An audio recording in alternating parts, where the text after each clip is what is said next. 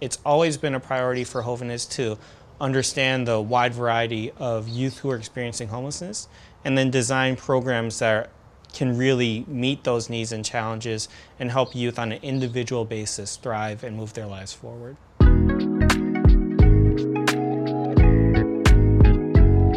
My name is Eric Hubbard. I am the Director of Development and Strategic Partnerships for Jovenes Inc. Jovenes mission is to help youth who are experiencing homelessness become active and integrated members of our community. We provide a wide range of housing and supportive services that are designed to help youth get off the streets, move into a safe and stable place that they can call home, and develop a plan with our staff to move their lives forward.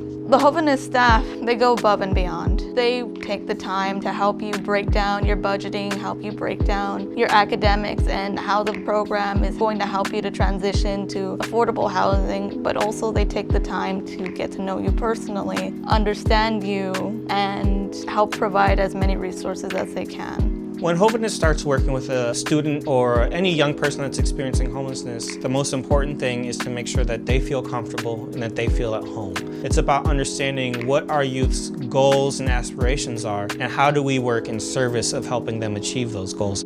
I believe in the Jovenes program because it's helped me and guided me and given me a space to go ahead and grow outside of my own comfort zone and express myself to different people with different backgrounds, different ideologies. And I was never allowed to go ahead and have that from where I came from. When I got the call that Jovenes was being selected by the LA Super Bowl host committee and the NFL to be one of its champions for the upcoming Super Bowl, I was so thrilled. To be nominated and to, to receive this award um, for all of us at Jovenes, it just shows a sign that what we're doing is being recognized and what we're doing matters.